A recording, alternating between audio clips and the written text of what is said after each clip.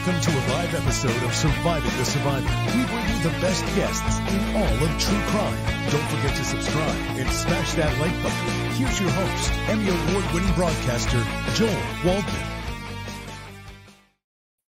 What's up, STS Nation? And Canine Catherine is on the money. Uh oh. Uh, better get Mako. Uh, Trouble in Paradise. Uh, all of our guests, we have four lined up. Uh, none are in here, and I didn't want to keep you guys waiting. So I told the COE, I will be brave and I will jump on, I will hop on, and I will talk true crime until our first guest gets here. Uh, obviously, this is Surviving the Survivor, the podcast that brings you the very best guests in all of true crime. And today, hopefully, will be no exception. Also, for full disclosure, the COE and I were in here with help from Space Coast on the West Coast. And uh, the Fisher Price set appears to be working for the time being.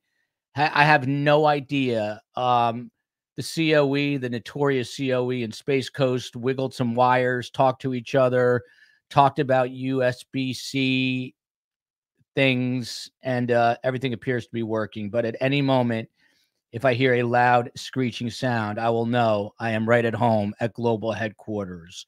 Um, but we are talking and we are um, always revamping, and we will get this uh, all um, improved, new and improved uh, over the next few months. We're going to get a new computer in here and some new wiring and uh, hardwire everything. So uh, we are the legit podcast that we are. Uh, we put the cart ahead of the horse, I guess. But today, of course, uh, jury selection uh, for Chad Daybell ended. So that is not what happened. But we had opening uh, statements from both the state and the defense. Jury selection, of course, uh, wrapped up earlier uh, in the week. And today was a chance for the state and the defense to lay out their case, which is exactly what they did. And then they called their first witness. So, for full disclosure, again, Lauren Matthias from uh, Hidden True Crime, a fantastic podcast. Just look at this. Teach Joel how to use the world, the word World Wide Web, www. Yes, we go. Uh, Fisher Price is going to sue me. Uh, that's okay. Come at me. Sponsor us, Fisher Price. Sponsor us. I mention your name a lot. So, Lauren Matthias, uh, of, of course, one half of Hidden True Crime. She was going to join us, but uh, then her schedule got screwy because the bigger fish were asking her to come on. Uh, we'll get her back on. Greg Skordas uh, he is an attorney out of Salt Lake City, a fantastic attorney. And he was on Mountain Daylight Time, thinking this was going to start two hours from now. So he is scurrying to a cell phone. And then we've got Megan Conner. Of course, she is Lori Vallow's cousin. Uh, she's supposed to be coming on and is MIA at the moment. So that leaves yours truly here. And then uh, Gigi McKelvey, uh, she said as soon as she wraps her podcast, she was going to come on. So now is a beautiful time for you guys to ask me any questions that you may have about today's proceedings and or anything else uh, on your mind. But uh, if you were here earlier today, Tim Jansen and I, um, we covered opening statements and I have to say that Rob Wood, the Madison County prosecuting attorney who delivered opening statements for the state of Idaho, he was um, lackluster at best. I think he disappointed a lot of people. Uh, almost everyone who was in the chat this morning was like, "That's all you got." Uh, this is the biggest, highest profile uh, case in the United States of America right now, and uh, he basically came um, with a script in hand, which is never a good thing. If you ever see a lawyer with a script in their hand, that's not good uh, the COE and I went to see a stand up comic, a very well known one. I'm not going to mention his name, a couple of weeks ago. And he had a music stand with notes, and that irritated the crap out of me because uh, the tickets were really expensive. So, uh, when you're a performer and when you are on stage, and that is what uh, an attorney is when he is in front of a courtroom as a trial attorney, uh, he should not have had a script, but uh, he did. And let's go over some of these opening statements and what Rob Wood had to say. And I am seeing some questions floating through here. Uh, did this most important question of the day from Tennis Girl? Did the COE win her match this morning? I have no idea, but I do know that once again, our taxes are due, and I'm working on some other stuff. And um, I'm going to have to pull the COE off the tennis court and uh, have her deal with some uh, other resources. Uh, she won 5 1. There you go. Uh, there's your answer. Um, I think I can officially say this the New York City book signing is now set. Uh, I don't think we have a, graphic for this, but we will be, Carmen and I, in New York City on May 19th. That is a Sunday, May 19th, a Sunday.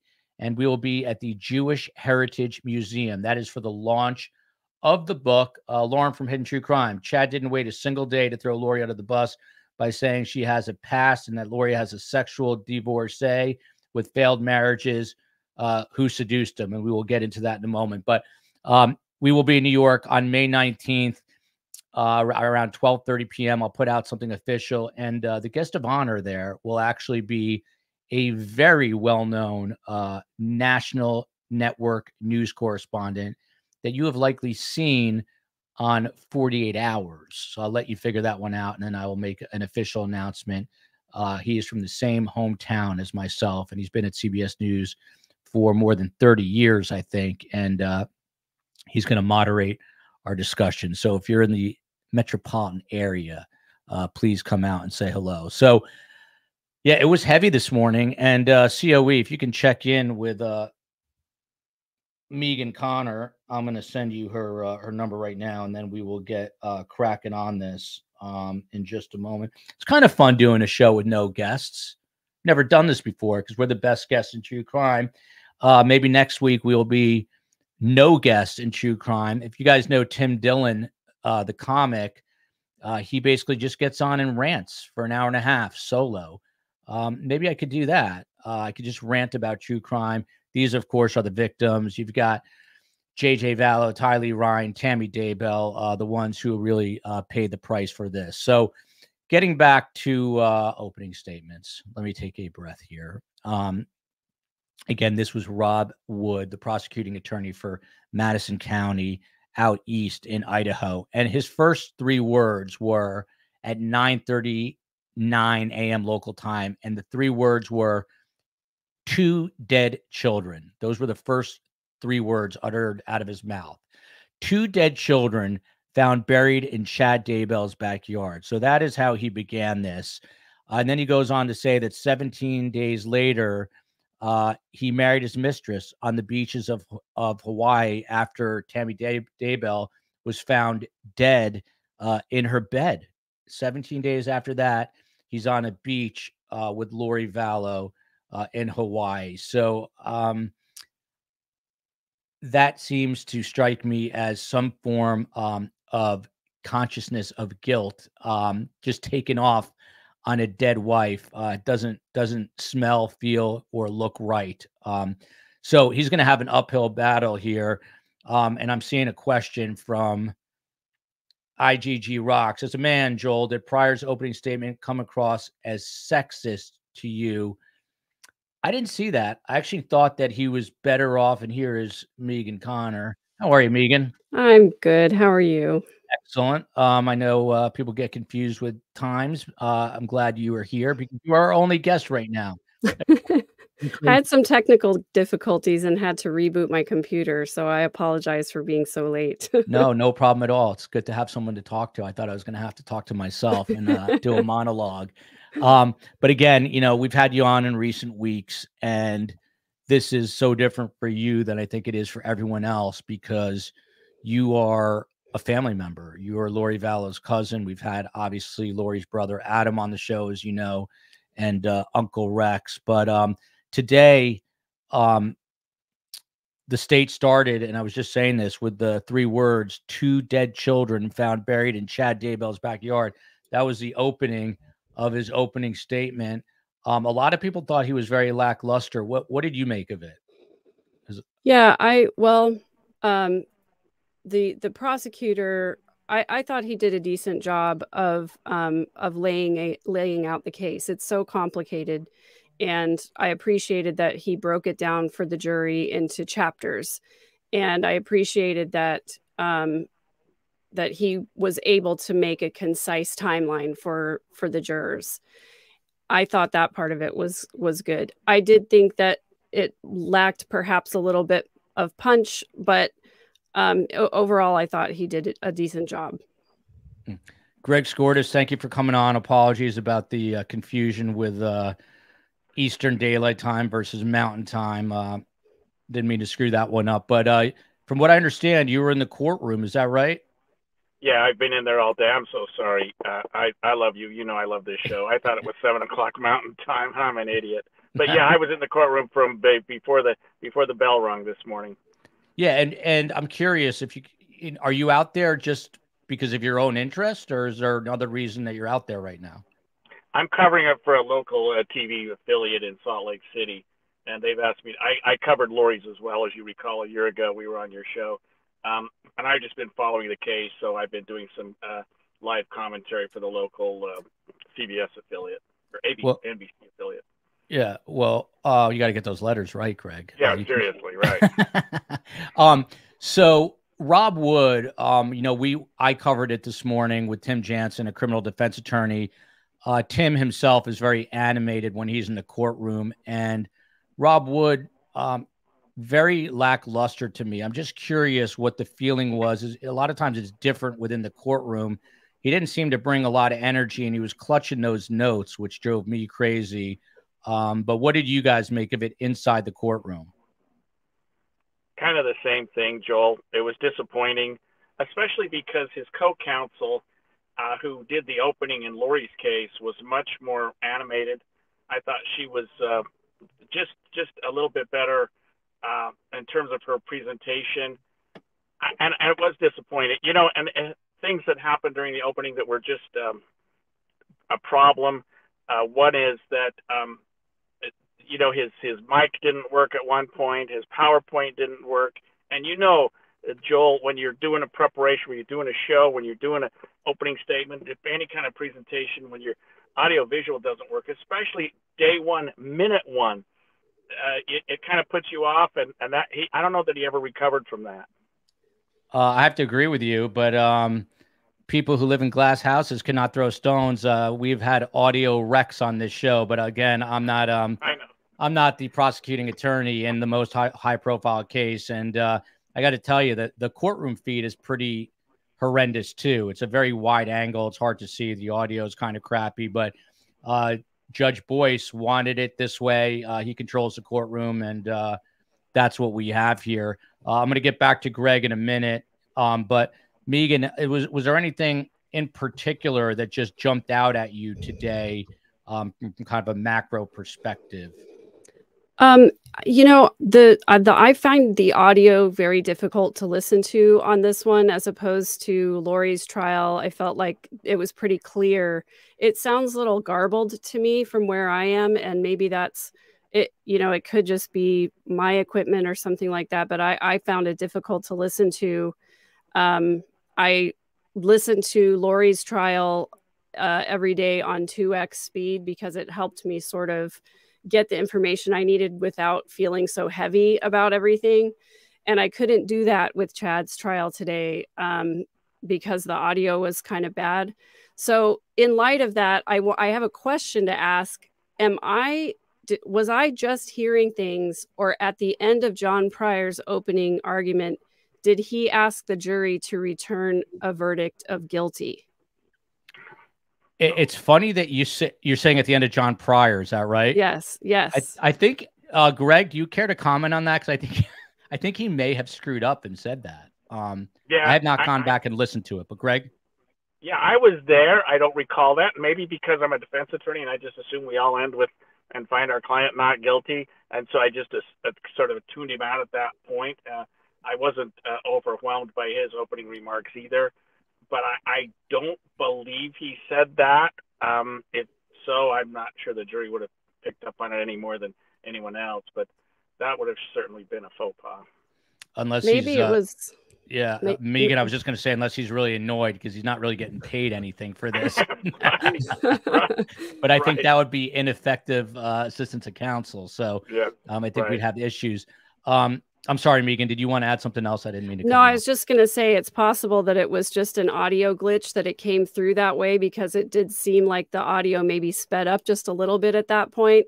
But I I had to go back and rewind it several times because I swear he said return a verdict of guilty. But hmm. Uh, I'll go back and rewatch it. Gigi McKelvey's all over this kind of stuff. Uh, what's up, Rockstar G Money? Um, what's up, Joel? You know, people ask me, "Do you have a new nickname?" And I'm like, "Nope." Joel gave me that nickname. G, G Money. We lost Greg. This is quite a show. We started with no guests. We had two guests, three guests. Now we're back to two. Hey, Greg. Uh, Greg, you're gonna make me nervous. So if you hold that phone up, your arm is gonna is gonna as, as strong a man and as in shape as you are, it's going to kill you. So try to prop it on something. But Carrie Lassiter here says they are supposed to sound convincing. Gigi, we were talking about this right before you got on. Rob Wood holding notes in his hand and uh, sounding like a uh, like a church mouse. You could barely hear the guy squeak. Um, what do you make of that? Uh, look, I think it was effective. I, I love the chapter system. I mean, it look, this is a convoluted case. You can't throw everything at these jurors right out of the gate. I think the way he did it was really good. And he kind of did the same last year. It was different openings. The way he did, of course, is very specific to Chad, but I thought it was good. You don't always have to like yell and spit on the jurors right out of the gate. Um, so I think that gentle approach, because it's a very heavy subject with these kids. And I think keeping your voice low and calm, it kind of sets the tone of this may be scandalous with the text messages and the storm and all that stuff. But at the end of the day, it's about these kids that were found on his property dead and Tammy Daybell. So I, for me personally, I liked it. I mean, I thought it was appropriate and short, which is good because we could be here till the second coming if he tried to explain the whole story right out of the gate. That's a good point. It's 22 minutes. And I was telling Tim Jansen – by the way, 10 10 wins in New York City. Their motto is you give us 22 minutes we'll give you the world. Well, uh, Rob Wood gave him 22 minutes and he gave him the Lori Vallow story, which is basically the equivalent of telling that story, uh, the, the entire story of the world, because it's so convoluted. Um, Sandra pointing out that we do have, in fact, an international audience. And then Little Lamb, uh, I feel like I'm just used to bad court audio tech at this point. I just want to make it abundantly clear that even though uh, we seem to have Fisher Price equipment here, and we have audio problems. That is the courtroom feed. We have nothing to do with what you're hearing on that courtroom feed. Uh, Space Coast on the West Coast is, uh, of course, always trying to sweeten the audio. Uh, this question, obviously, for Lori's cousin, Megan Conner, uh, again from Carrie. What are Megan's impressions of the testimony so far? Obviously, day one, we had Ray Hermosillo, the detective, on there. Um, but what what do you just make of the general feeling uh, today versus the last go around? Well, there certainly are um, many more objections from the defense team in this case than there were in Lori's case. And I think that's probably because um, Chad is actually allowing his attorney to put on a defense here. Um, I think he's he's doing a decent job of trying to get objections in where he can, but I do find that to be a little bit tedious, especially when we're talking about crime scene photos that have, you know, pretty obviously been taken by professional people and things like that. So that part I had a hard time with. Um, and there definitely was a portion of Detective Hermosillo's uh, testimony that was pretty much the same um, as in Lori's case the day they they found the children. Um, I was just recalling that that that was almost almost word for word the same description that he gave of Chad looking over his shoulder and and all of that. So that man, that took me right back to last year, and that was really hard for me. It was um, I started to feel. I, you know, to be honest with you, I I didn't think that this trial was going to be as hard for me um, because it's Chad and not my own cousin. But you know it's still you know the deaths of of um, you know innocent people two of whom i was related to and as soon as um, rob wood said two dead children that it was like okay i can't this is going to be just as emotional for me as the last trial was too so um, i'm preparing for some self-care uh, that's a good thing, a sad thing, but uh, I'm glad that you're being realistic about it. And I think it's going to be difficult for everyone. But obviously, especially for the families. You know, yesterday we covered the sentencing for uh, James and Jennifer Crumbley, and just hearing the victim impact statements yesterday, especially from one of the victims' uh, very young older sister, it was it broke my heart. Um, so these are real people with real repercussions um, and real tragedy that they are dealing with. Uh, Greg Skordas. So, as Megan has alluded to, and and Gigi so far, Rob Wood broke this into chapters, which that part I thought was interesting because, of course, Chad Daybell was writing these kind of whacked out books, um, and I think there was some, um, you know, overlap with that, uh, some allusion to that and uh, he went on to say that he craved significance. Uh, that's what he wanted in his life, and talks about how Chad had five children and uh, eventually moved to Idaho, where he married this beloved school librarian. And uh, the quote was for this defendant that ordinary existence was not enough. Um, as he's building up to the fact that he then gets mired in this relationship with Lori Vallow, with Lori Vallow. But I'm just curious um, if you've ever used that approach, this chapter approach to telling a story, and in some ways it was effective. Um, you know, there's no way you're going to be able to lay out all the evidence in a case of this magnitude. So it was it was short, simple, and to the point, but maybe too simple. But uh, again, I digress there. Your thoughts on this chapter, breaking it into chapters notion? You know, I haven't used that approach, Joel, and, and after watching it today, I probably won't. And I don't mean to be uh, condescending at all. Just I didn't think it was effective. I mean, it was effective in that it played with his PowerPoint and he was able to do the chapter and and I think that he was almost letting the PowerPoint lead his his opening because he would look at what the next slide was and then he could talk about it. Um, but you know, he covered the bases. I, I, I he he did what he needed to do. Um, it wasn't it wasn't gangbusters, but you you really don't want to be in opening remarks. You really don't need to, especially if you're the prosecution. You need to be you need to you're you're there for the state, you're there for the people, you're there for the victims. Uh, you're just doing your job, and you want the jury to to to find for the truth. And so maybe the impassioned part of me when I was a prosecutor was maybe it's not as effective.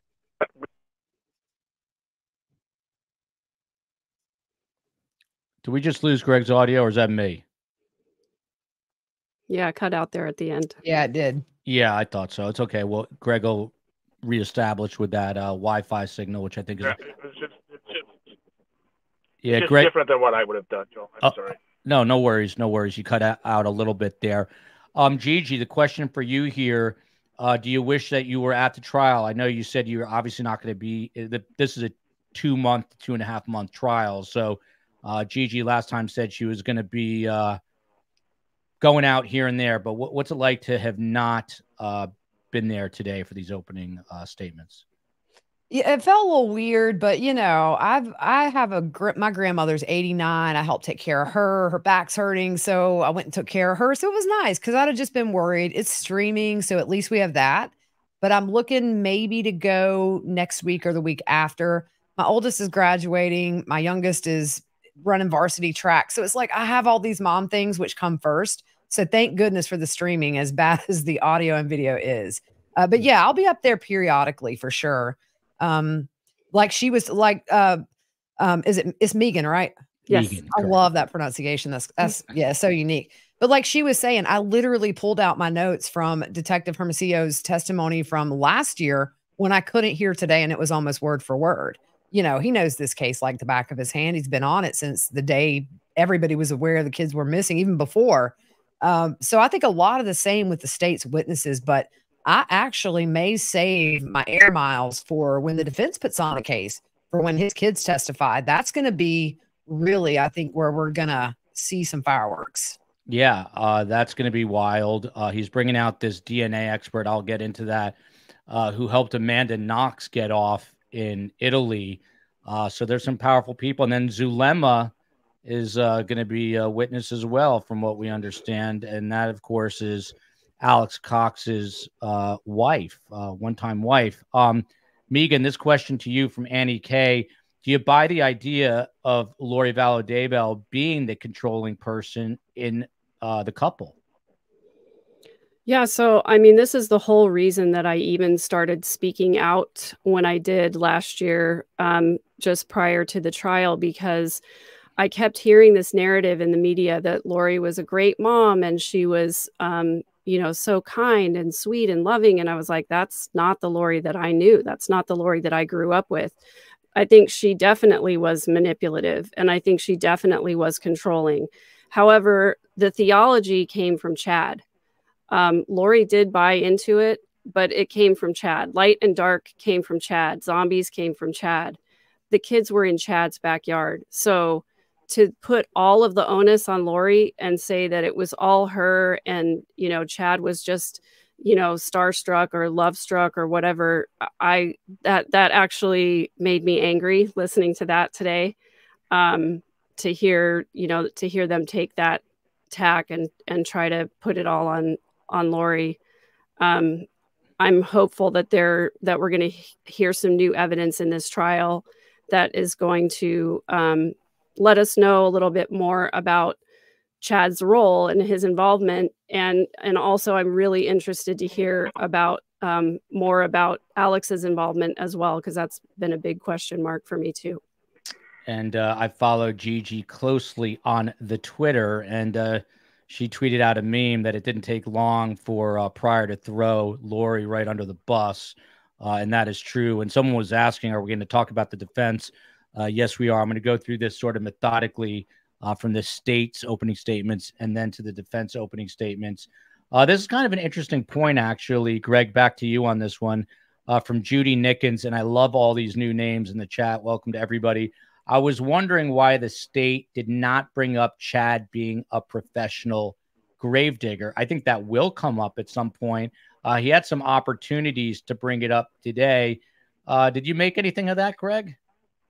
No, I, I thought that would have been more of a more of a I don't know cheap shot. I don't know I don't know how it's relevant. I don't know how it plays in. It wasn't part of the state's case.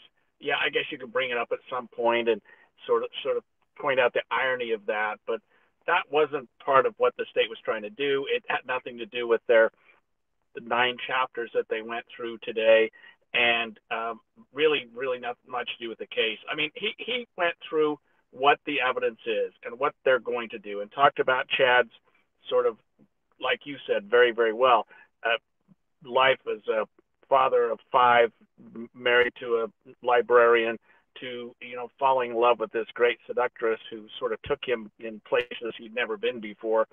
But ultimately he was the one that was calling the shots and he was the one that was doing the things. And and um, I think they want to point him out as a or, or at least have the jury believe that he was not just being followed by his by his lust that he saw something here saw an opportunity here and he was the one that was espousing this dark light personality thing, and and I think Lori saw that as an opportunity for her as well. So I don't know that either one of them was driving the ship. It was just a perfect storm of two people that should have never met in the first place. Uh, Greg, probably the most important question back to you. It's a jury made up of 10 men and eight women. We don't know who the alternates are uh, 12 regular jurors, six alternates. Uh, how did they seem to you? Uh, what was their reaction when the state delivered opening statements? How about the defense? Uh, did they look engaged? I think so. I mean, I was literally sitting very, very close to the jury. They, they were in my line of sight, uh, the two rows. And I thought that they were, I mean, the judge had given them uh, the ability to write down things. A lot of them were taking notes, a lot of them were writing things down. I was watching the things that they were writing down. Um, so, yeah, they seemed very engaged. And you would expect that on day one, Joel. I mean, this, we'll see how they're reacting, you know, in May maybe in June if this case goes that far. But yeah, they want to see what this case is about, and they were tuned in. And right from the opening get go, and even the detective, uh, Hermosillo, who testified, and he was the only witness that testified, and I don't think we're even halfway through his testimony. They were following him closely. They were writing things down. I think they were expressing some level of annoyance with the constant objections from defense counsel that were not effective um, and I hope that that's not the way this trial is going to go for defense because that's going to bother the jury at some point. and they did not seem very uh, impressed with that. Uh, we saw that in the Michelle Troconis case with Jon Schoenhorn, who's a fine criminal defense attorney. We'll come back to Greg and ask him a little more about those objections. Uh, G Money McKelvey, can you just um, inform the audience? This keeps coming up over and over. I thought the defense was out of money. How do they pay for these high priced experts? It's literally one attorney, John Prior, and he tried to wiggle his way out, and Judge Boyce didn't allow him to do that. Uh, we joke, but it's true that I think he owned, literally owns Chad Daybell's house now. But um, Tim Jansen was in disbelief. He, he said that a trial like this should be a million dollar payday for a criminal defense attorney. He doesn't even know if Chad's getting, uh, I'm sorry, if John's getting a couple of hundred grand, if that. Uh, so what's what's the bottom line here? What do we know about payments here for John Prior and why he is doing this uh, for very little pay, relatively speaking? Uh, well, when they had the hearing where he asked to be removed, which was weird because in the middle of the hearing, he's like, I don't want to be removed. So I was like, well, why are we here? But actually, he, um, some of the experts are paid for by, by public, you know, taxpayer money, but you only get so many. So it's not like it's a free for all where you can bring in 20 expert witnesses, but I think, you know, three or four probably are paid for by tax dollars. John Prior said at that hearing, he was essentially doing this for free at this point but it's a little late in the game. I mean, he's been on this case since pretty much day one, the very beginning. He should have known a couple of years ago he wasn't going to be able to handle a 10 week trial that's a death case, which he's never tried uh, on his own. What happens if, if this dude gets like COVID or something or has an appendix attack? This trial's going to get delayed. There's nobody there for like backup. It's crazy. But no, he owns the deed to the house. Good luck selling it because I, I just don't I mean, some of Chad's kids are still living in that house right now, but I don't know how he's ever going to think that he's going to get repaid with that land. Maybe somebody will get it and say, Hey, I can live here, but not me.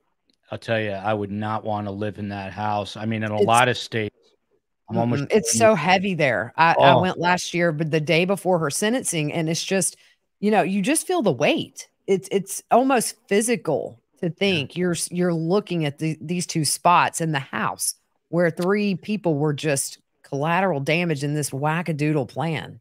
Yeah, you know, it's insane. And I'm sorry, Meg. I was just going to say very quickly that in a lot of states, I'm almost sure in Jersey and I think in Florida, you have to, if you're selling a home where there was a death or a murder, you have to uh, let the buyer know that. Uh, I don't know if that's the case in Idaho, but go ahead, Megan. I'm sorry. No, I was just gonna. I was just gonna say I'll put this out out there. Um, you know, if John Prior wants to put it on the market, if I could afford to buy it, I would buy it 100%. I would have that house raised and I would put up a permanent memorial to the children. Spot on. Um, mic drop moment right there. Uh, John Prior, surviving the survivor at Gmail. Contact me. You have a buyer for the house, and uh, maybe we can raise the money and uh, raise the house. R A Z E, and then uh, and then we can put up a memorial. That's actually a really cool idea.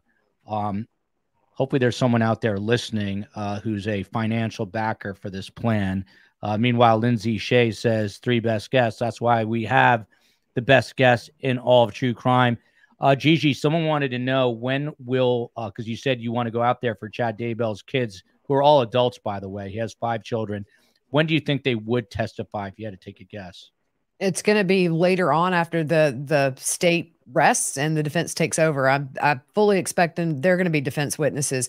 Although for me, I kind of wonder about Garth Daybell because he was there when Chad found Tammy dead, and there was he was actually the first one on that nine one one call. So for me, could he be a state's witness? And then you've got a few. I think he said what three or four. He said two or three, three or four. Um, so I, I'm curious about Garth. But I do think that that'll that'll come in the defense because he said they're going to testify that she was sick, wasn't going to the doctor, was doing homeopathic stuff, which um, kind of blew my mind to be honest. Hmm. Um, Megan, back to you on this, and I think this was the part that, and of course, my computer just flipped out. But um, after after the technical issues, Rob Wood goes and I quote here, you'll hear about a pivotal date, the day Chad Daybell and Lori Vallow met at a religious conference in St. George, Utah. That introduction set into motion what you will hear about. And then he goes on in his thirst for sex, power, money. Chad created this alternate reality where he called themselves James and Elena. More than anything else, Chad's obsession with Lori was rooted in her adoration for him. He called her an exalted goddess. They're really like playing up the sexualization of Lori Vallow. Um, just curious what you make of that, that she literally seduced him into doing this. Yeah, I um it, it's hard for me to to listen to that. Um it's hard for me to wrap my brain um, wrap my brain around my feelings um, right now. So just forgive me if I'm not as articulate as as I like to be. But um, they, yeah, he called her Miss Texas, right? Which she didn't win that pageant, by the way. So um, you know, there's definitely some over exaggeration and reaching there to try and mm, you know make her into some kind of a, a succubus. But uh, you know, I obviously while i think there's manipulation the manipulation that that went on there and everything like that um, i think it was lori's intent to to meet chad because she was drawn to his near death experience power. Um, and i think that it was beneficial to chad obviously to have a beautiful woman um, interested in him in any way. And so i just think that um, you know using Lori's looks and the sexuality to try and excuse murder is kind of just disgusting to me. I don't know what else to say about it right now. Uh, th- those words are well said. No apology necessary. This is heavy, uh, heavy stuff. I'm going to bring this comment in just to lighten things up for one moment. Oh, th- yeah, this is it from Black Widow in the Republic of Ireland. She says, I need a puppy bath. I have no idea. Sometimes she says things with Irish references.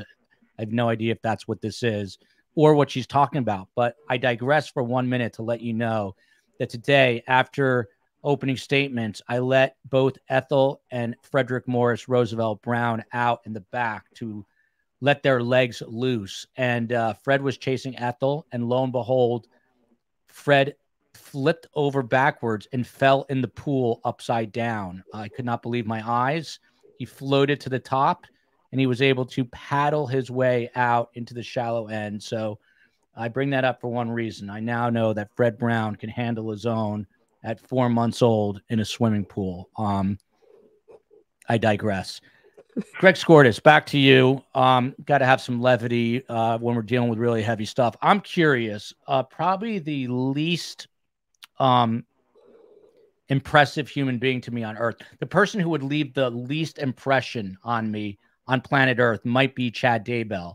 I said he would have a, major career as a commercial actor because the guy could be a milkman, he could be an insurance man, he could be a goat herder, he could be anything. He's just the most bland, boring looking human I've ever seen.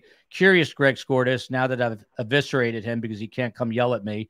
Um, what did you make of him in court? Did he have any emotion? People say he literally does not move. Um, was he reacting to anything? You know, I'll tell you one of the weirdest things I've seen in a while, Joel. When we walked in the courtroom today, uh, and the lawyers were not there and the judge was not there, Chad was there, and his table was facing crossways so we could see him. It wasn't it wasn't like his back was to us, and he just stood there staring at the wall in front of him and he didn't move for 20 minutes. It was weird. And I, I felt sorry for him a little bit because I thought, dude, you need some friends or you need somebody to talk to. I mean, he was just there alone. I don't know why they brought him out like that. I don't know why his attorney allowed that to occur. The jury wasn't there yet, but he just sat there stoic and he did. He looked just uh, the way you just described as this guy who's like, why am I here? What's going on? You know, eh, he did not look like a criminal defendant in a three count, three first degree murder count facing the death penalty. And even during the trial, no reaction, not much at all, just kind of sitting there. He and his attorney had no interaction hardly at all. And um, I, I, it, it's the way you described him. I think you, you nailed it, Joel. It just he's kind of just a, this milk toast guy who was writing books, and I guess Lori saw some, you know, this preacher man that could maybe help her with her goals it's it's really odd to me because um you know whatever you're going to say about Lori Vallow at one point she was an attractive woman I know a lot of people don't feel that way and she seemed to have charisma. When you talk to Megan, like you know, they were friends uh, growing up, and she, but he just seems so unbelievably just detached and monotone. Gigi, let's drill down on this for a minute. I mean, what's going on here with him? Uh, how did he, how did he get himself where he is right now? That's that's the part I cannot wrap my head around. How did he? I can see someone with a personality like Lori, who's she's got personality, but Chad seems to literally have none. So how did he literally end up in the most high profile case, as Greg just said, as a three count criminal defendant when he looks like he should be delivering your newspaper? Gigi. Ooh. I was unmuted because my dog was barking. Oh. Um, I, I, yeah. Um, so I think you know, hearing pe- from people like April Raymond from Hawaii that knew her when they lived on the island, she made comments to April that Charles was not her spiritual equal. She was going to temple for hours a day. She was reading these books, listening to these podcasts. So I don't think it was necessarily Chad. It was Lori was seeking something higher in a spiritual sense. And I think she was obsessed with his book. She was trying to give them to her friends to read to get people on board. And when she met him, it's kind of like, you know, one of us meeting our favorite celebrity. And then that favorite celebrity flirts with you a little bit. And then there you go. So I think it was a, a bigger thing for Lori. I think it was that validation where Chad made her feel and convinced her. I don't want to say convinced her. I think she probably believed it pretty easily that she's an exalted goddess because I think in the back of her mind, she probably thought she was better than everybody else in a spiritual sense. And so, fire gasoline. I don't think there was one that was more at fault or less at fault than the other. I think it was they took turns being in charge.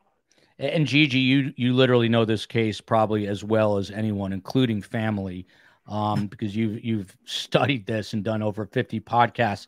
There's an argument, not an argument, but a discussion, I should say, in the chat about whether or not Chad is on the spectrum, uh, the autism spectrum. What has your research found? I mean, I've always thought, and I apologize if he is, I've never heard that. Um, I just thought he's kind of dopey. Has there ever been any medical proof that he's on the spectrum, as far as you know? You know, I've actually never heard anybody talk about that. Um, I think we're all in the spectrum in a weird way. I think we all have tendencies, but I think Chad just for me seems like that socially awkward person that you might say hi to, but you're not going to have this really in depth conversation with, you know, unless you're like minded. It seems like Chad just surrounded himself with people who thought he was James the Just and the brother of Jesus in a past life. You know, you pick the people you hang out with because, you know, like Lori, they built her up. They told her what she wanted to hear. Chad told her. And I think it went the same way for Chad. I think he liked having that little group that he felt he had this big influence over and especially Lori, because here we are. Uh, she Jukester is getting upset. All these ignorant people in the chat calling an autistic person a slug and other bad names. Uh, she Jukester, I'm curious if you have uh, proof that he is on the autism spectrum and you can email me surviving the survivor at gmail.com. I'd be very interested to uh, read about that. But as far as I know, that he's never been diagnosed as such. So I don't know if it's an overreaction on your part or inaccuracy and lack of knowledge on my part. But uh, again, I'm open minded. I'd be curious to hear um, what you know about that, if uh, there's anything else to be gleaned from it. Um, meanwhile, Megan, back to you. Um, Rob Wood went on. He said, anyone who opposed Chad and Lori, and again, he was going through this pretty methodically, uh, chapter by chapter, as he was uh, laying it out in his own way. He said that Chad and Lori were labeled, uh, labeling people dark spirits or zombies, which we all know. And he says that Alex Cox, of course, Lori's brother, told his wife Zulema that he'd be the fall guy, and then goes on to say that Charles Vallow was shot and killed by Alex because Lori stood to get a million dollars, only for her to learn that she was no longer the beneficiary. Um, we talked about this very dysfunctional relationship, and that is a kind way of putting it. But just reflecting on it some more and hearing this stuff today about Alex telling Zulema that he thought he'd be the fall guy. What what do you think happened in this dynamic between Alex and Lori, and how did it evolve? Do you think over time? Well, I think we have seen a lot of clear evidence that Lori was for Lori, period. And she wanted what she wanted, and then she knew how to manipulate people in order to get it. And Chad's um, theology gave her a good vehicle for, I think, you know, firstly getting getting rid of Charles, um, justifying that with religious beliefs, and then you know continuing to take it and escalate it and eliminate all, as he said, all of the obstacles that were in the way of Lori getting what she wanted. And so my uh, sort of theory about all of that is that Alex was useful. Um, he was a useful servant. He did anything that Lori asked him to do, and she knew that he would. And so um, when they were finished with him and he had played his role, um, I really think that they either somehow killed him or or that he or convinced him that it was okay for him to kill himself because um, he was done with his mission. And i think that was what that blessing from chad was about. And i think that was probably part of lori's narrative all along was like well let let me get this person to do what i want and then she discarded him just like she discarded charles just like she discarded the children just like she convinced Chad to discard his wife. You know, I'm pretty sure that that's how some of that went down. Uh, Elizabeth Salvatore, thank you for that. All the dark spirits were people who could get them money by their deaths. Chad's children weren't dark spirits, but he had no money to gain by killing them. And Megan, I just want to get your take on this. Ned Smith adding, why were Chad's children spared and Lori's murdered? Was it I, simply a money issue, Megan? Yeah, I think it was purely financial because if they just wanted to get rid of the children, if they wanted to be a couple together, they know that they could have given JJ to to um, his grandparents, and they would have very happily taken care of him, and probably Tylee too. And they had multiple family members that would have taken care of those kids if they just if Lori just didn't want to be a mom anymore. So I think it was 100% financially motivated. Um, you know, just just like it was for for Charles as well. Uh, Joyce Kirby in the chat saying, "My son is an autistic adult, very high functioning, and I can't see it with Chad." So uh, that that argument is continuing. Rosemary Romero to Gigi, uh, what does Gigi know about Chad calling the funeral home about Charles' cremation and how much it would cost? Uh, interesting question. Uh, hate to put you on the spot, G Money, but what do you know about this, if anything? I know Chad's not very good at making up fake names to act like a Chad Dayball. I mean, it's like, really, dude? Could you not be more obvious?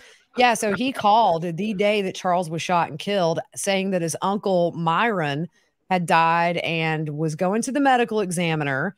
And they weren't super close, but he didn't have a lot of family. So he was trying to get an estimate on cremation and shipping the remains to New Orleans, which isn't super far from from where Kay and Larry live. So yeah, he did call. It's out there. I think I actually have it on my YouTube channel with subtitles, but it's very creepy and cringy. And at one point, he says something like, "We'll deal with the services later," and he giggles. You can kind of hear him giggle off the phone a bit, and it's just it's so bizarre. But what's not in this case? You know, it's I mean, it, it's just one more layer of this I can't believe people actually followed this guy. Mm. Blows my mind. Somebody yeah. told me they were the brother of Jesus. I'd say we need to take a trip to the doctor. Not yeah. like, can I come with you? I mean, this, people are so gullible. This is what I, I just this is the part I don't get. Um, you know, you see all these cults that we've had over time, but the cult leaders are generally charismatic people. Um, and we've had cult experts on the show, but I just cannot see Chad convincing anyone to do anything. Um, will that call be used as evidence, G Money? What do you think? I could, but you know, he's not charged with anything in Charles's death. And I know um, in Lori's trial, there was very little they allowed to come in about Charles. And with Chad not charged in that, I'm not sure how much will come in. It could show just, you know, I mean, we got an attorney here, but it could just show the mindset and and the things he was willing to do to further this mission. Um, you know, by the way, I think the the same credit card Lori used to pay for his cremation, she ended up and paid for Chad to come down to Arizona with. It's you know, not long after. It's insane. Um, but yeah, it's a it's a crazy call for sure. Chad uh, Dayball. Day- Greg Skordas uh, from Katrina here, and you talked about this early on. Do your guest, the only lawyer, does he have a take? Does Greg Skordas have a take on this judge, Steven Boyce? Is he too lenient in allowing so many objections? I mean, there were a ton today, and this is day one out of the gates. Um, this is going to be. I I never understand the um, the game plan here. I don't know if he's trying to interrupt the, the flow of the narrative, but Greg, we're going to be in for a long trial if there are this many objections. What did you make of it and the judge?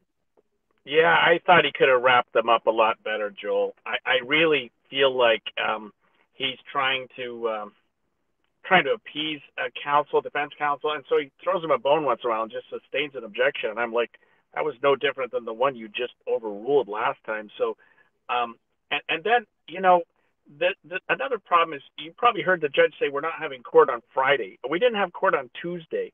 Uh, last Friday was a waste of time. I mean, this judge, and I say this with all due respect, made Lori's four week trial into a six week trial, and he's about to make Chad's what I consider to be a five or six week trial into a 12 week trial.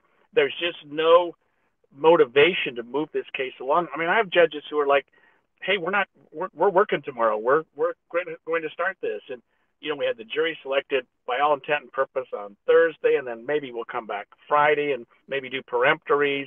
And then he's just, every time there's an objection, we have to have a sidebar and talk about it. You're right. I mean, it, to me, as an attorney, very frustrating. And uh, I, I don't have to practice it in this jurisdiction, luckily, uh, because I'd probably be held in contempt of court. But it, it's, it's, it's, it's painful to watch the way he um, controls, or better said, doesn't control his courtroom. And I, I say that with all respect. He's got the robes on. I'll never wear robes, but so he's doing something I'm not. Well, I don't know about that, Greg, but um, interesting point. Do we know why there is no court on Friday? No, I mean, he. Why didn't we have court yesterday? I mean, it's great. I'm in Boise, and I'll tell you, Joel, it is beautiful golf weather, and that's the the only thing I can think of why we're not having court on Friday. He said that the attorneys had to deal with some issues. We've had four years to deal with issues, or you know what I mean? We've had we've had at least a year since Lori's uh, trial to deal with all these issues, and and so I don't understand why we're not moving this case along. I know that he's going to say he set aside two weeks for jury selection, and we're all way ahead of that. But nobody who's ever practiced on a capital case really thought jury selection was going to go two weeks. Four days, five days, maybe. And we had the jury in four days. But he's sort of using those two weeks anyway. And uh, that's, we're, we're just going to drag this trial out. I feel very bad for the jurors because yeah, those are people they're making ten dollars a day, Joel. Ten dollars a day. I was I was just going to say that out of everybody, I feel the worst for these jurors. They're going to have to sit there for weeks on end. Uh, Donna McDo- uh, Donna Donald, a Marshall Applewhite, was not a looker either. That he is the famous leader. You remember the guy with the uh, white short hair and the short guy, Heaven's Gate. Um, but he he had some, uh, I think, at least some uh, charisma to get these people to follow him. And this is a good point because we're talking about Chad Daybell being persuasive. Joel, he had six. He needed 144,000. Uh, that is a good point. So, uh, getting back to Rob Wood here, and then we'll get to the defense. Uh, he talked about the collapse of the dream. He also had a PowerPoint presentation. Uh, he lists the attempted murder of Brandon Boudreaux, which is going on in Arizona. That's Lori's next trial. Uh, concern for the missing children, lies to police, unwillingness to produce the children, the raccoon text, all part of this uh, collapse of a dream, and then went on to talk about how the trial, as Greg was just saying, is going to be very long with many witnesses, and talked, Rob Wood did about evidence to come, including financial, law enforcement testimony, even some Hawaii po- police are going to be uh, subpoenaed for this.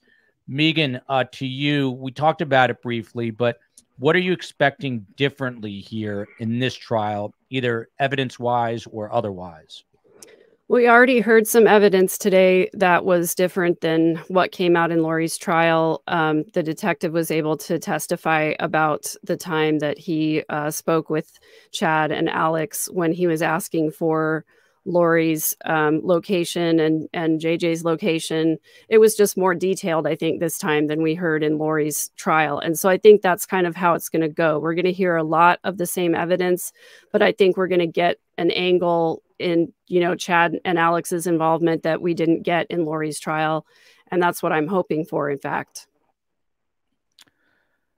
It's going to be a this is going to be a long uh drawn out trial. There is no doubt about that. Um, Rob Wood wrapped up his uh, opening statements, and then we'll switch over to the defense, basically saying, "Listen, you're going to hear the defendant's own words, uh, G Money." So maybe that's where we he's indicating we might hear some of these calls, and he says that your verdict is going to be the final chapter. Uh, was that an effective way to close opening statements, which some people thought were a little lackluster?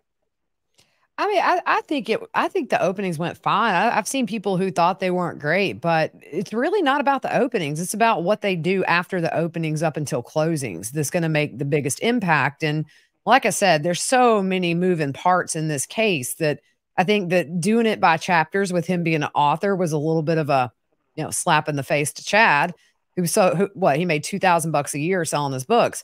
So um, yeah, I thought they were good and I thought it ended well. And I mean, look, I mean, the, already you have Detective Hermosillo on the stand who is on day one giving some very powerful testimony that sets up you've got these adults who seemingly don't care. There are two kids that the police are trying to find and they're lying. Oh, I hardly know her. That's your wife, dude.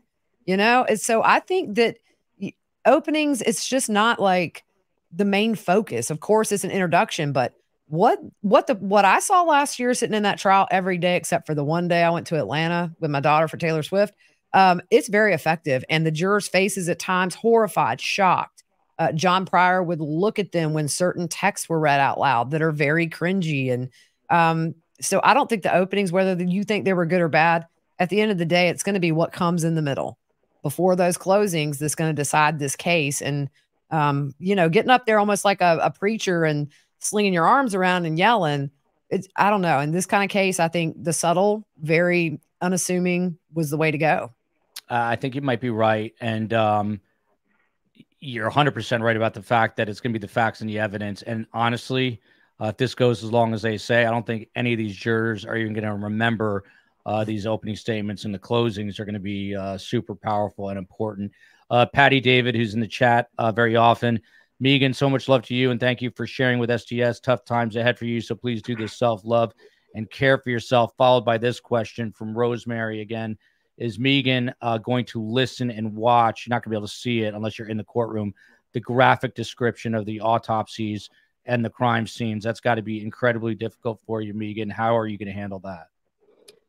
You know, that's a good question. And I don't have a good answer yet. Um, I I have planned to to listen to and watch everything. Um, I don't know how I'm going to feel up to that point. I do have to kind of just take it one day at a time and and do what I can. Um, I'm I feel an obligation to witness this trial for the children, and and I can't really explain why I feel that way, but I do. Um, I have already processed through the deaths of the children and I've done a lot of work mental health wise to um, be able to just be out here walking around like a normal human being. So um, I, I, do have a lot of good tools for dealing with traumatic things. That being said, I don't want to subject myself to trauma that I don't need to, you know. So I really do just have to take it one trial day at a time and see how I'm feeling. Um, I would like to be able to listen to everything. Um, listening to it the first time was pretty difficult, but again, I just feel I feel like I just need to wit witness it on behalf of the children to to be there for them. Um, I totally get it. Sometimes you have to witness horrible parts of history to kind of understand it and uh, get where you're coming from there. So um, I hope you have strength doing that. Um, Thank you. So that was a good question from Rosemary. Um, Greg, I'm just curious. Uh, John Prior has, he's kind of has an acerbic personality. He literally has a prior on his record. So people were kind of poking fun at him for that. uh, today. I'm curious what, just looking at him in the courtroom, what did you make of his personality before he even delivered those opening remarks? He kind of has a little bit of a harsh um, person about him. He uh, he was not uh, warm and fuzzy with his client at all, which I think is something the jury is watching, and they're they're directly across from the jury, and um, you know, and he kind of, you know, those objections, he, they weren't good, and he, he wasn't winning them, and I just think that after a couple of days, the jury is going to go, dude, like, let's can we just hear the evidence? It's going to come in anyway. I mean, the, question about hearsay, what did the guy from the other counties tell you? Well, that's hearsay. Well, it probably is. So they're just going to put the guy from the other county on the stand. I mean, what a waste of time. And then these photographs, he just every single one he would like can connive or die. Well, were you present when the photograph was taken? Uh, who else was present? That none of those are relevant. The question when you look at a photograph is, is this what you saw? And if the answer is yeah, that's what I saw, it doesn't matter who took the photograph or when it was taken or how it was taken or what color the camera was. And he just goes through all this stuff, and I'm like, why are you doing that? I mean, we know you're smart, we know you're a great lawyer, but that that's not going to work with a two month trial. No, I mean we're objecting to a photo of JJ Vallow coming in. It's like, right. oh, this is gonna be a kid. long trial. Right. Objection. Gosh. Who took that photo? Who cares? Who cares who took the photo? You know, I could look at a photo of you, Joel, and say that's that's Joel. Well, who took the photo? I don't know. just recognize the guy. He's a good-looking guy. That's him. Yeah, that that's all that that's all that matters when you're identifying a photograph in court. Is it a representation of what you saw? Is it a fair and accurate representation of what you saw? That's the threshold question. None of and, that else matters. And this is why Greg's doing the commentary as a lawyer. It's interesting because he knows all the innuendos, all the ins and outs, and uh, he's seeing that. Uh, so that is interesting to me. Brenda Redmond, so mad uh, that John Prior insinuated that Tammy died of natural causes. Gigi, uh, your thoughts on this? He even said he's going to call the children to talk about how she was ill, etc., etc. This is uh, we haven't even gotten to the part about the pasture yet, but this part of uh, the opening statements. Do you agree with Brenda on this? Yeah, I think the only way he's able to do this is because ultimately that autopsy was negative. So it was just sort of she passed away. They didn't see any visible. I mean, there's bruises on her. We saw those last year in Lori's trial, very consistent with somebody holding the arms. But when an autopsy is negative and you can't say how exactly it happened or, how she died or what caused it, um, that's the only way he has to go in there and put reasonable doubt in those jurors' minds to maybe get Chad off that one charge or get him, you know, maybe they can agree on it. It's look, I mean, she was with her family right before she died. Everybody who knew her said she was fine the day before. She was chipper, dancing in the living room, taking clogging classes taking Zumba classes. I want to see the state call her clogging teacher in there. Was she ever winded? Did she ever say, I'm lightheaded? You know, I think that might be more powerful. But here's the thing we don't need the medical examiner. We've got text messages from Chad saying her name is Viola. She's been taken over. She's a level three demonic entity. And I don't know about the timing for removal and things like that. So it's almost like you don't, you know, how they say you don't need a body to find somebody guilty these texts are more powerful than any medical examiner report out there. So we were worried last year that Lori might not get convicted on that conspiracy to commit murder charge for Tammy, but it all fits in the big narrative. Once these jurors get this whole picture and hear that Chad and Lori are texting less than 24 hours after Tammy was found dead, I want to be in your arms. I want to be with you. I love you. I'm sad, but not for the reason people think you don't need that medical examiner to testify that we can't say how she died. It's pretty clear what happened. It sure is. Sure the hell is. Um, I'm curious. I wish we could get uh, um, Alex Cox Zoom, but that's not happening either to see what happened there. But Greg Skordas back to you because this is uh, an attorney question. So uh, Prior came out and he said, Look, I'm from Meridian, Idaho, basically telling him I'm just like you, a local.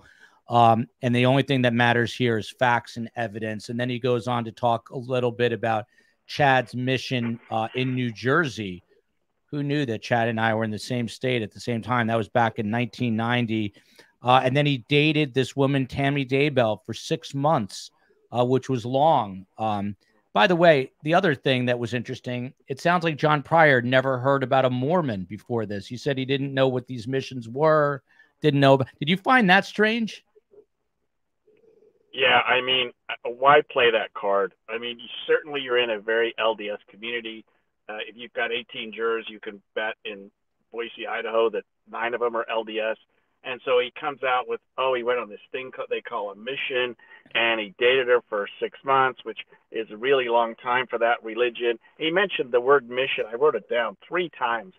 like, don't don't go there. I mean, and then sort of acting like this this religion. I don't know much about it, but hey, I guess they uh, they don't date very long and they go on missions. Like, I, I, there was only one reason to do that, Joel, and it was the wrong reason and it was to appeal to the jurors who happen to be Latter day Saints, hope that.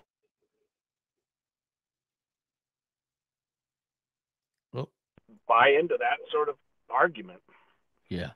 Um, Megan, I'm curious what you made of that. Um, you know, it's sort of a minor but major point because he's obviously representing uh, a client who is LDS. Uh, there's a big part of this case. I know that you were once a part of that church, no longer, but for the his defense attorney to come out and play this sort of dumb guy where he had no idea what this religion is, what it's about, what these missions are. It, it was just odd to me, if anything. Am I allowed to curse on this channel? Yes, you sure can.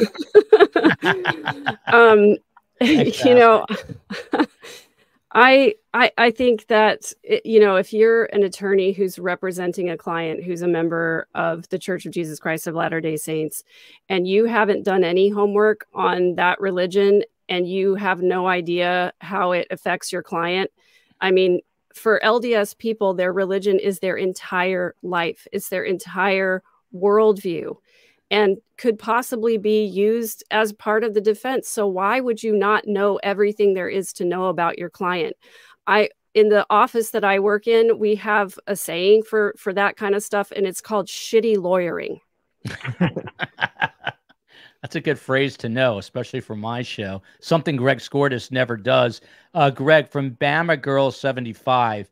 I heard the judge tell the jury they couldn't talk to each other, period as in no small talk, not just no talking about the case. Is that abnormal? Did we hear that, Greg? I, I, I could barely hear, so I don't think I heard that part. We did not hear that. In fact, Joel, we heard the opposite. What he said was, you can talk, but don't talk about the case. Don't talk about the facts of the case. I mean, obviously the jurors are going to talk. They're going to talk about the weather. There's somebody's tie that doesn't match or something like that. But they, he just instructed them, and he'll continue to at every break and at every close of court for the day, not to talk about the facts of the case. So I heard it differently. I may be wrong, but I heard him give an instruction that is consistent with virtually every judge I've heard in the middle of a jury trial about talking about the case bad, talking to each other about other things okay. Uh, Megan from Carrie here. She she wants to know if it's common in LDS uh, in the church t- to have a cremation. Um, it's not really common at all. Um, in fact, I I don't think that I've ever heard of um, any other Mormons that I know of being cremated other than um, in the Cox family.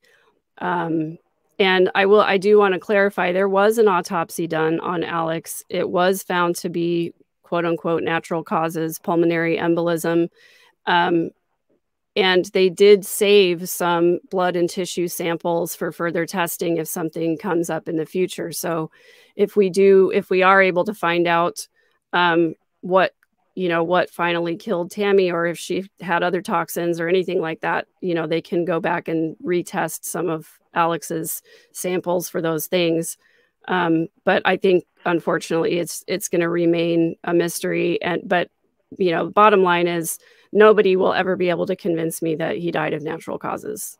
The day after Tammy's body was exhumed, no way. Yep. Uh, I have a lot of trouble believing that as well. But uh, sadly, I, I, don't think we're ever going to know the true answer to that. Um, G Money, um, John Prior goes on and he says uh, that Chad was a writer, that he wrote about a lot of things uh, like premonitions. You even wrote about death. And then he goes on to say, and this is direct quote, he meets this beautifully stunning woman. She pursues him. Uh, and then starts. This is where the process where he starts to basically derail her, throw her under the bus, and and talks about these horrific marriages she was in. She was in a marriage right out of high school. It didn't last. She was in a second marriage. It didn't last.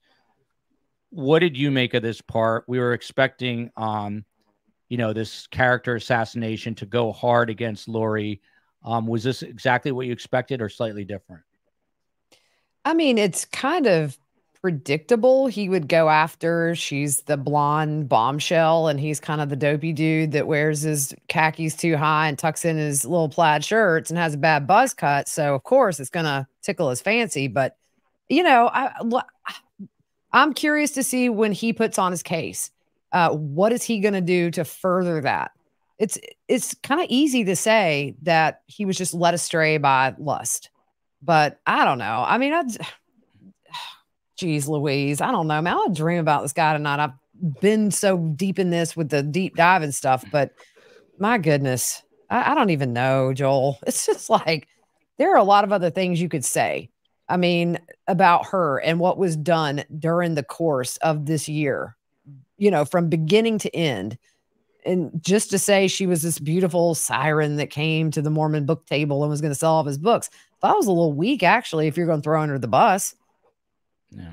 Uh, gee, you got to listen to some Pink Floyd tonight and put on some mood. Keep your studio lights on and just chill out. So I don't want you to have a dream about Chad or John I dreamed Prior. about him last night, Joel. I woke up, I was like, really? The eight hours that I'm not working, there he is front and center. Ooh. I dreamed one time he was my dad, and I was just like, I want my real daddy. Oh, it was boy. terrifying. There was no storm in that dream, was there? Oh my God. Don't get listen. Can I just say the day that happened in court, Joel, I'm live tweeting for Law and Crime Network, and I have the sense of humor of a 12 year old boy. Yeah. So, you know, the dude's so on the I. stand, and I know what's coming. He's like, because I put two and two together. He's like, Can you tell us what the storm is? And I was like, Don't smile. Don't smile. You're going to get kicked out. Don't. So he says, You know, it was his penis. And I'm like, so here I am, like tweeting out all the storm gifts I can find, and I'm tweeting out "Riders on the Storm" by the Doors, and I'm tweeting out every like the thunder rolls. I tweeted that out today. See where my mind goes, but um, gosh, the storm. I was having to sit on my hands and bite my tongue, Joel. I was like, the judge is going to see me laughing and kick me out. Mm. Oh dear, the storm. it sounds like a WWE wrestler. Yeah, this is uh, that part is I can't even I can't even go there. I'll have a dream. I'll bet you I have a dream tonight now. Uh, Baker Canner says, oh, no. What is most upsetting to me is how each of the victims were confronted in their last moments by the people who were supposed to care for them, but who they knew were getting ready uh, to murder them. That is, um, when you think about that, really think about it for a moment, that is um, frightening and, and really disturbing. This part of the opening statements irritated the crap out of me. I don't know if I can say that, but uh, John Prior says, look, Alex Cox shoots Joe Ryan with a taser, and this sort of develops. Uh, it, it's the start of a pattern. This goes back to 2007. He admits, John Prior does, that Chad and Lori had this inappropriate relationship, uh, but then goes on and basically in the same phrase, Megan, I'm going to come to you on this. He talks about this sexual person that comes into Chad's life and literally just he describes her as a very sexual person, but then intimates in the same line uh, or a couple lines later that Chad's backyard is a four and a half acre farm. So it's really not a backyard, it's a pasture, implying that Chad wouldn't even know what was going on in his property and really pointing the finger at this point at Alex. I'm curious what you made of this part of the opening statements because it was it was going pretty low, pretty dirty. Yeah, yeah. Talking about Lori, um, my my good friend Lauren from Hidden True Crime called it slut shaming. I guess we're going to just do that. Mm. Um, you know, we we tried to establish a pattern of her having erratic relationships and her being very sexual and and all of that stuff. So, again, that was it. It just made me angry for that to be the you know the the major focus of that. Again, as Gigi said, if you're going to throw Lori under the bus, there is a lot there that you could have worked with that probably would have been more effective for your client. And as far as the uh, the acreage on the property, I think he's really just trying to sell the um, you know the resale value there so he can make some money. Uh, you might be right about that. And little does he know right now that uh, he has a buyer in you. Um, So that's kind of crazy. Uh, Greg Skordas, uh, just a couple more things, and then I promise we will wrap. Um, Prior did say he's bringing on this DNA expert, a guy named Dr. Greg Hampikian. Uh, he's the person that got Amanda Knox exonerated in Italy. And he was talking specifically about that hair, or several hairs, I should say, that were found on the plastic, uh, which was wrapped around JJ Vallow without getting too graphic. Um, how effective could this guy be? Um, why would he bring it up if he didn't think he's going to bring some value to the table here for the defense? Well, I think that that is just a small piece of the puzzle for the state, Joel. And I don't know that that excluding that or discrediting that is going to make a difference. I mean, this is a this is a circumstantial case. This is a case that has a lot going on with it in terms of statements made, recorded phone calls. Uh, just Chad's reaction to what was going on today when Hermosillo was testifying. You know, he tries to run away. I mean, there's a lot going on here. That oh boy, mid out. Those demons were taking over the Wi-Fi right there. That was a quick and sudden uh, departure. But uh, this data expert, they're also going to let's see. I think Greg might be. Greg, you back? They uh, the demons whipped you off that screen. Are you back? Yeah, I'm here. Yeah, can go go right ahead. Yeah, I mean, I just I just was trying to make a point that the that the this the state's not hanging its hat on a DNA sample. Bring the expert in, have him discredit it. The jury will say, okay, great. What what were the other 999 things we heard about Chad? Hmm. Uh, McSpunky said that uh, Greg's portal just opened up and uh, enter Zulema. There is some humor here. Swallowed uh, Greg right up. A couple quick things. Uh, G Money also, uh, they're going to bring on uh, a data expert to show that Alex Cox was really the one at Chad's property. Um, and that Chad, as we started off by saying, his three to four children are going to testify for the defense. Are either of these sets of witnesses, do you think, going to be effective? Uh, the children, I would imagine, more so than the data expert, but maybe not. Maybe it's the science that will deliver more results. What do you think? I mean, then you have to explain the text message that he sent to Tammy, what, 17 minutes after Alex had left the property, saying that he had shot the raccoon and he was going to burn limb this, this limb debris. I mean, for everything that I think Prior's going to do, there's 50 things waiting in line to just make Prior look like um, he's got nothing, you know. So I, I just, I think the kids, you know, that might be his strongest um, chance at convincing the jury of much but I, I really still don't think so because when they see the photos of the bruises on Tammy, it makes sense. I mean, it's you know, it, it, looks like in the position that she was held down. It's it's just so sad. I just don't think that, you know, you got to throw a lot of things against the wall and see what sticks when your client's up for death. And even though it is largely circumstantial, which we did have the DNA in the barn of Tylee's, and we don't know yet, I still believe a lot of that's going to come in Chad's trial where it didn't with Lori because it's not pleasant to think about, but things had to happen to Tylee's body um, for her to be found in the condition she was in. And we know it didn't happen in the townhomes because there was no biological evidence there. I think that barn's going to come in in a big way. And when you've got DNA on your pickaxe and shovel that's leaned against your wall, uh, to say that Alex was able to dig a grave in 17 minutes when the morning he was there for JJ, when you have cut roots from a tree, it's an uphill battle, if not like an uphill icy, you know, battle. I just I don't think any of the nothing's going to combat what the state's bringing to the table, which are just horrific facts that they can back up. It's uh it's going to be a huge uphill battle for the defense. Greg, uh just want to ask you this. What I mean, John Prior is defending this client eh, solo for what could be 8 to 10 weeks pretty much any attorney I've spoken to said that it's the craziest thing they've ever heard. You heard Gigi say, "What if he gets COVID? What if any? What if he sprains his ankle and he can't walk?" Um, have you ever heard of this high-profile case with one criminal defense attorney? I've never heard of a low-profile capital case with one defense attorney. I mean, you just don't do it. This is a capital case. It will be appealed for the next 20 years and they will look at everything that attorney did, everything he didn't do, and um, ultimately he's going to be in the crosshairs uh, of the appeal of Chad's appeal. Chad will attack him like he did everybody else in his life. But yeah, I mean, I I'm surprised the court just didn't appoint a a public defender as a second chair or something when Prior was was complaining about the lack of funds. The court may have created an error too here, but when when Prior's begging for to get off the case, he's really begging for money, and I think that the judge would have done everybody a favor by appointing standby counsel. I mean, I get put in those roles all the time, and just say, look, you're on the hook, public defender, and you're going to try this case with John Prior. Get up to speed. Let's rock and roll. And that's, you know, I hate to say there's a built-in appeal here, but just having one one lawyer on a capital case. I mean, the prosecution's got four, um, and I, I just that's that's going to be that's going to make it much more difficult uh, in terms of looking backwards at the case in the appeals.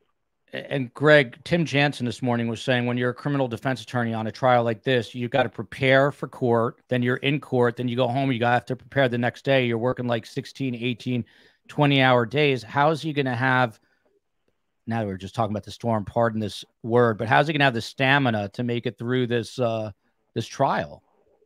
He's not. I mean, he's just not. You, you even if you just divide witnesses, I'll take A, B, and C. You take D, E, and F. Uh, let I'll do opening, you do closing. Uh, I'll do the the jury instructions, you do uh, the, the the the expert witnesses. I mean, you have to do that. This is a this is a capital case. It's going to go for ten weeks, um, and there are I don't know, dozens of witnesses. How do you prepare a cross examination for every one? I mean, I know he's had a couple of years to do that, but he's also been doing his other stuff and doing his job and trying to make money and trying to trying to survive. I mean, I don't I don't know how you try a death penalty case by yourself. I, I think it's almost ineffective assistance of counsel per se.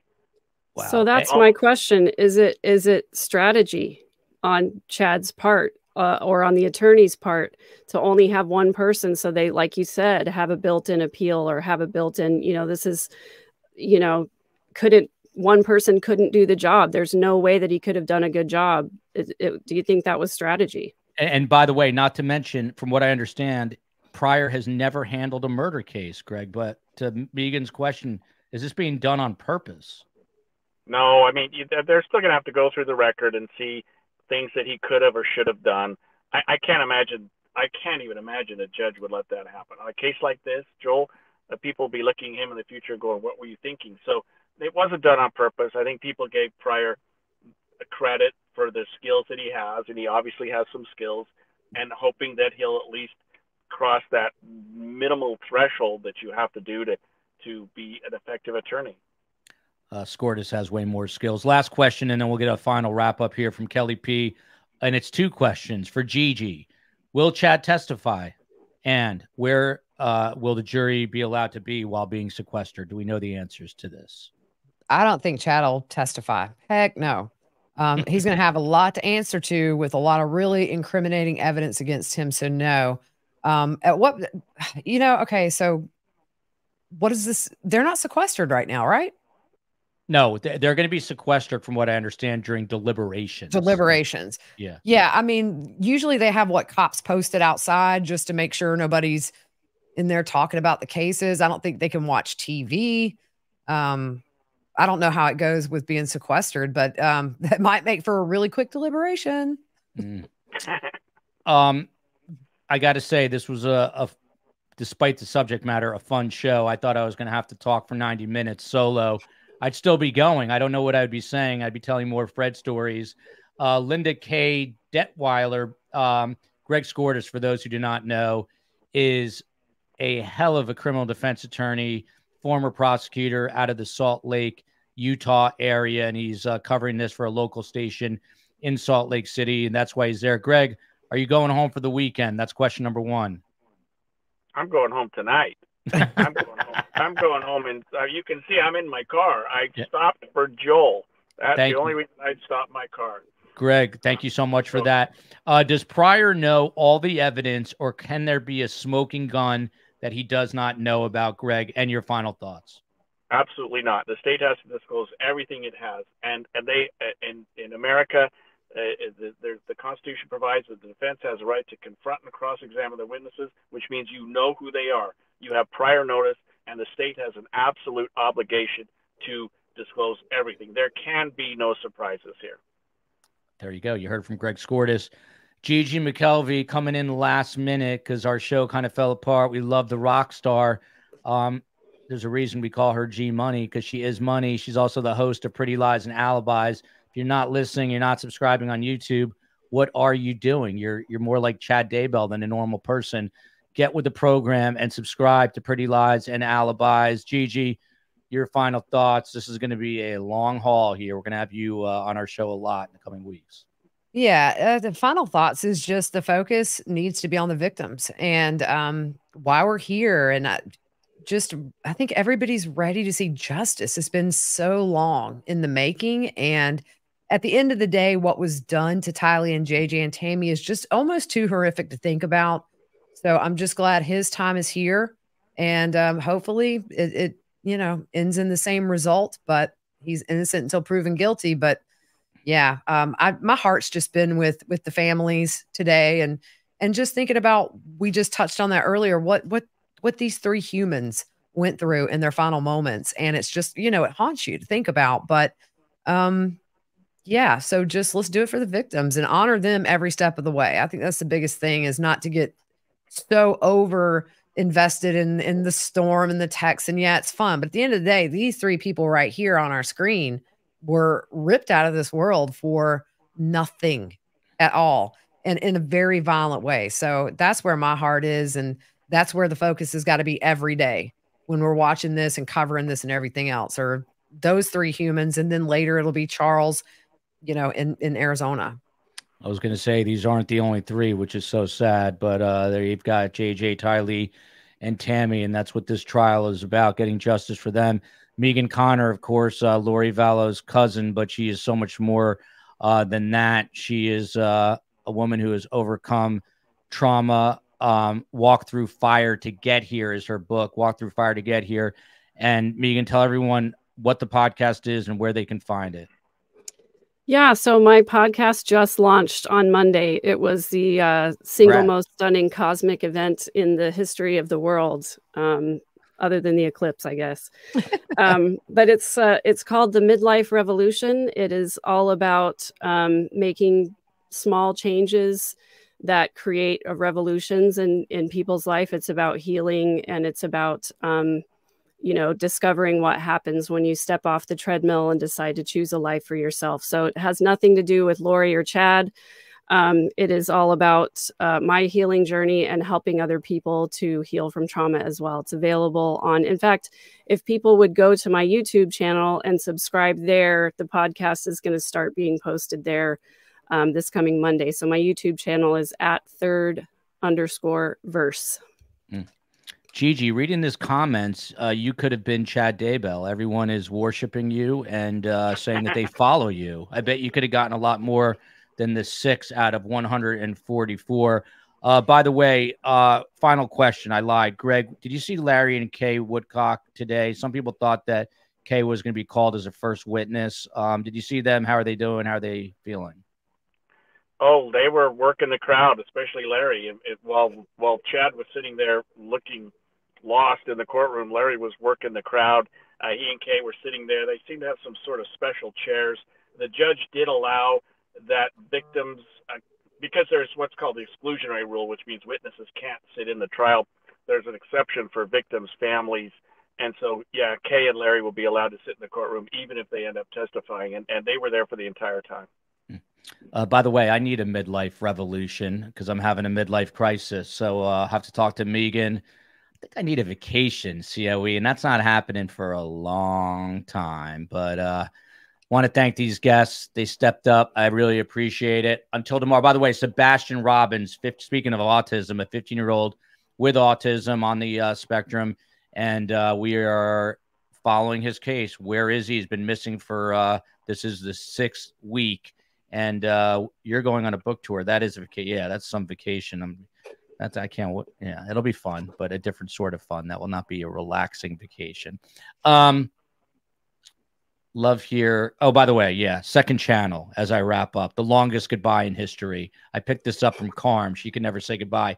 Second channel at Surviving the Survivor trials, the best trials in true crime. We're going to be having uh, the Chad Daybell trial only on that channel with closed captioning. gavel to gavel. Tomorrow, Sebastian Rogers at 5 p.m. Until then, love you, America. Love you, panel. Love you, Utah. Love you, South Carolina. Love you, Texas and Arizona. And of course, let us think about these. And a huge shout out to all the mods. That goes without saying. Space Coast on the West Coast and the COE. We'll see you tomorrow, everybody. Thank you. And Greg, thank you for sticking around before taking off to the airport.